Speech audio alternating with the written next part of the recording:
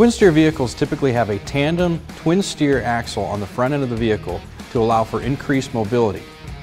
Our software can actually handle aligning those vehicles. Let's take a look. From our configuration screen, we'll scroll down to a two front, two rear truck tractor.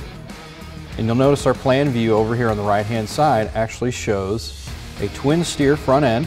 So we've got our tandem steer axles on the front end of this vehicle and our tandem drive axles on the rear. So selecting this configuration will actually prompt the aligner to build out a custom alignment process for us over here on our procedure bar.